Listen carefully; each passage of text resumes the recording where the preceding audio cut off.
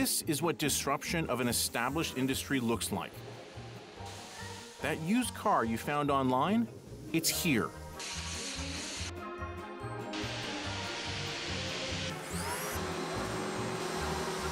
Soaked, safetied, and secure, at a warehouse ready to go.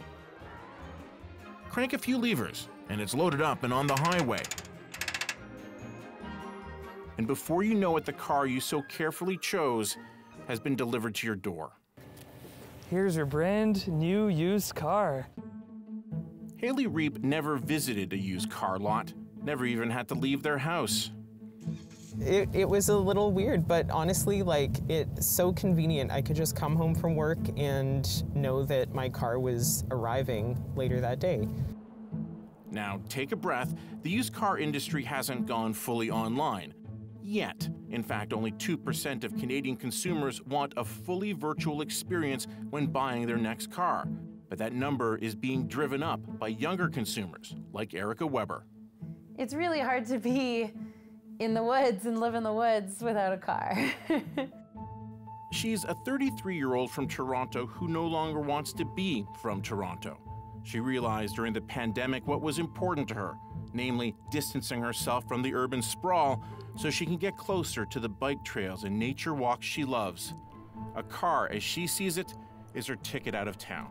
And the more I traveled within Ontario, I realized there was so much more to see and so many more adventures to be had, and that meant that I would need to go further. My emotions have kind of been all over the place. You know, sometimes I get really excited and I get really enthusiastic, and I love the idea of having the freedom and having my own car, and then sometimes I wonder if I'm going to find it, and I wonder if I'm going to end up with something that I really do like.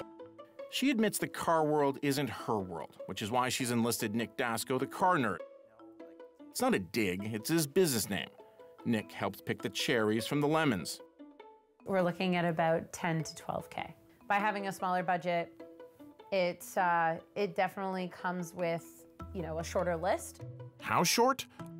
With the average price of a used car going up 48% in the last year to $35,000 and counting, they're finding a whole lot of lemons. It is definitely more of a challenge because it has required people to spend more money on cars that used to be dramatically cheaper. In the past 12 months, I've had experiences where I'm seeing cars priced for close to, if not more than they cost brand new, and these are now three years old. A Wolverine attacked the driver's seat. It's over 15 years old, and you need an appraisal for it. I straight up don't trust this dealership. This car needs a new front seat. It could be worth a look, but that's sort of what $6,800 seems to get you Yeah. these days. It's not just Nick the nerd. Mark McMullen is a maven.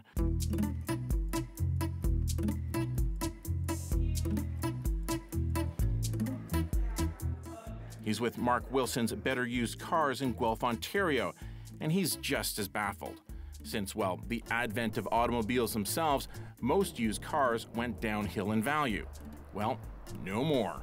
We had a truck that we were all worried about. It was like March uh, 2020. We're going into lockdown. It was a Dodge Ram 2500.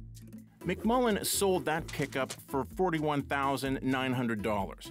The guy who bought it put 80,000 kilometers on the odometer and then sold it back to McMullen for $44,000. It doesn't add up, right? Well, McMullen put it back on his lot for 46,900. Yet when another dealer called to buy it, he said no because he needed the inventory for his customers. But when the dealer offered 50,000, McMullen sold the truck yet again. I keep saying this is historical. Like this has never happened. Never could you buy a vehicle and drive it and it actually appreciates. Despite all this, the appetite for cars remains insatiable. There are estimated to be roughly 2 million consumers in North America who are now in the market to buy a new vehicle. Right now, demand is very strong, and pent up demand is even stronger. Scotiabank auto sector analyst Rebecca Young says on average, Canadians have saved an extra $8,000 since early 2020. Money the auto industry desperately wants. But the dealers have a huge problem. It's taking them months to fulfill new vehicle orders because they have so few cars on their lots. What I think, though, is interesting and anecdotal is that we now are seeing frequently the term that I ordered a vehicle. Pre pandemic, that was unheard of. People didn't say I ordered a vehicle, they would say I purchased a vehicle. Earlier in the pandemic, manufacturers could point to a worldwide microchip shortage for the decrease in car production, which was made worse with the supply chain crisis. And then, if you take the shortage of new cars and apply it to the larger auto food chain, it stands to reason the used car sector will feel the pinch as well. Used car dealers get the bulk of their inventory from two main sources rental companies and leases. Rental companies are constantly refreshing their inventory, but with so few new vehicles coming in, they're holding on to their older cars. The same reasoning applies to drivers with leases. And when the lease comes due, that vehicle then enters the secondhand market. What we've seen though is because those, uh, when those leases come up, there's no new vehicle to put them into, and so you see lease extensions going on right now. Back to the manufacturing issues, goods are no longer moving around the world the way they used to. So Young says ramping up production isn't the solution. Even if auto manufacturers operate at full speed, operate at three shifts per day, seven days a week, and don't have downtimes, they still won't be able to fully make up for that lost demand or that pent up demand over the course of 2022.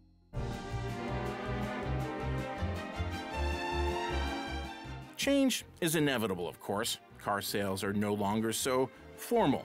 Yet the basics of shopping at a car lot have changed little over the years. But pandemics, as we've learned, have a way of forcing even the most resolute to adapt.